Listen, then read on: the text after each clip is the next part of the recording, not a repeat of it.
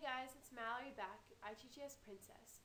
Today we're going to talk about a specific case study um, in which software malfunctions and software reliability came into action.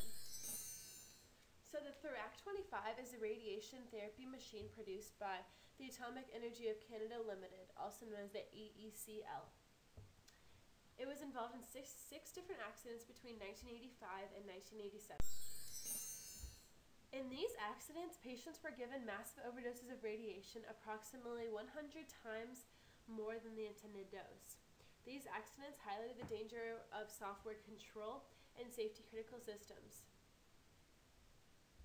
Um, it highlights the, that there needs to be specific um, studies into health informatics and software engineering.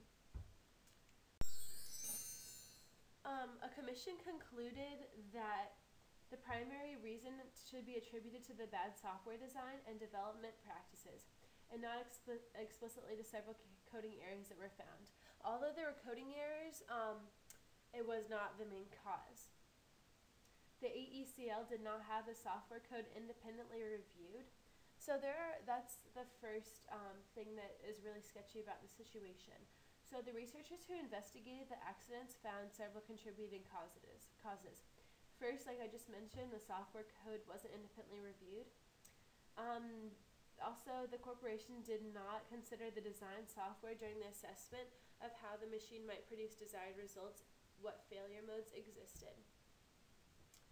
Um, the system noticed that something was wrong and halted the x-ray beam but merely displayed the word malfunction. The user manual did not explain or address error codes, and there was no override function. The AECL personnel, as well as the machine operators, initially did not believe that their system caused the deaths. The AECL, lastly, never tested the Therac with the combination of software and hardware until it was assembled in the hospital. So this is a massive oversight that the software and hardware weren't combined for testing. They were just set up both in the hospital and used from there.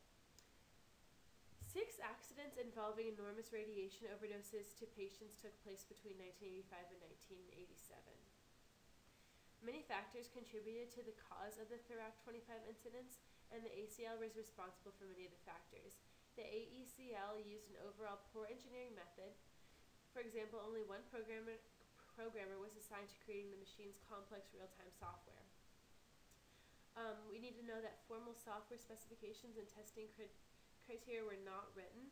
In addition, very little software and system testing was performed.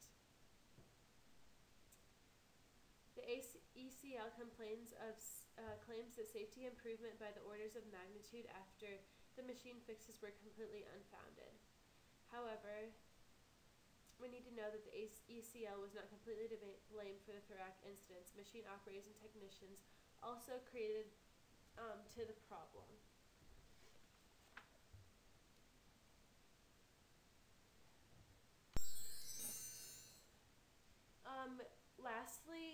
Federal government contributed their shares to the Therac-25 incidents despite the knowledge of the AECL's poor engineering practices.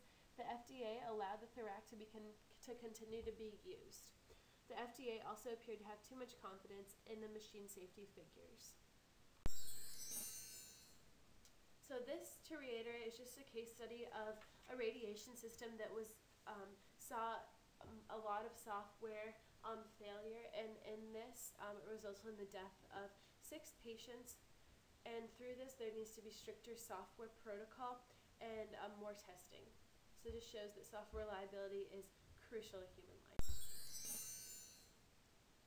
And this is another video by Mallory, the ITGS Princess. See you next time.